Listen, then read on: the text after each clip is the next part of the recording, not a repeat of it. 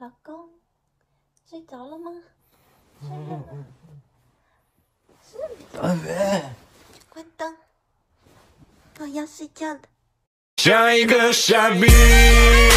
中秋节要到了，做一些咱妈妈们爱吃的零食给他们寄过去，也正好赶上教师节，我们妈妈们都是教师。更巧的是，妈妈们居然都爱吃沙琪玛。今日伙食：沙琪玛，二百五十克面粉，放两小勺泡打粉，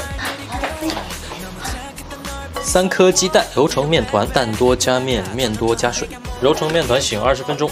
在模具中铺一些坚果，坚果当然是要用。哇塞，三只松鼠每日坚果，这个包装是干湿分离的，很鲜脆呢。里面有六种坚果和三种果干，先只放这种酸酸甜甜的果干，铺在模具底部。来，坚果给你吃，补一下脑。面糊擀成一个大薄饼，大大的薄饼，大大的薄饼切成三段，再切成小条，抖噜抖噜，五成油温下锅炸三十秒。哇，尝一个。开始熬汤浆，五十毫升量勺为准，一勺白糖，两勺水，一勺麦芽。熬至粘稠后关火，放入面条。给妈妈们加点新口味益生菌每日坚果，一百克就有十亿益生菌，促进肠道健康，营养好吸收。哎，儿子女婿做的汤是不是会很放心呢？放入模具中，压实压成长方形。我是小金，一个给妈妈做零食的儿子。老板娘吃不了五花肉，但这个红烧肉鹌鹑蛋终于能在家吃到红烧肉了。你这这鹌鹑蛋比肉好吃，你吃这个这。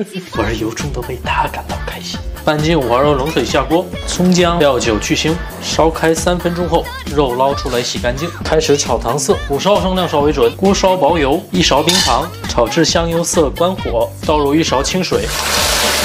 倒出备用，可以直接炒糖色，这样是为了减少发苦翻车的几率。太相信我自己的实力。再烧油，中火炒至表面金黄，十五毫升量勺为准，两勺生抽，半勺老抽，再把糖色放进去，翻炒均匀，放入姜片、大葱，倒入清水没过肉，大火烧开，小火炖半个小时。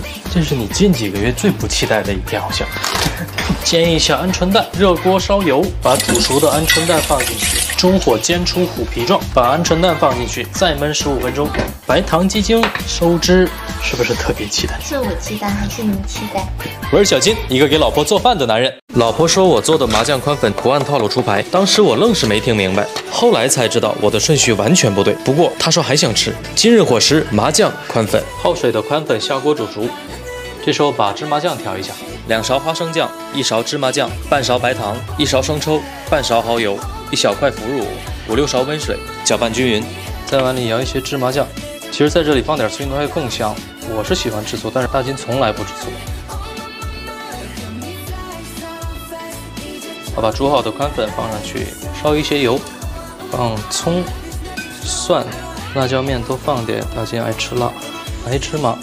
孜然粉，油温不能过高，辣椒面会糊。我是小金，一个给老婆做饭的男人。